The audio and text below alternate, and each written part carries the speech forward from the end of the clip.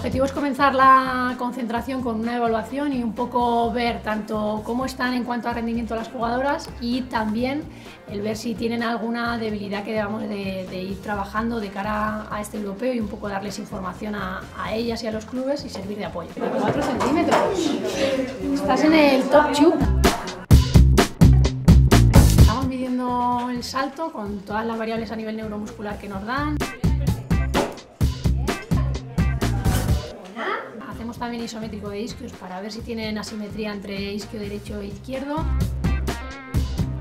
Medimos velocidad propulsiva media de los ejercicios básicos para saber niveles de fuerza y sobre todo con qué cargas pueden ir trabajando en, esta concentración para que sean individuales a ellas.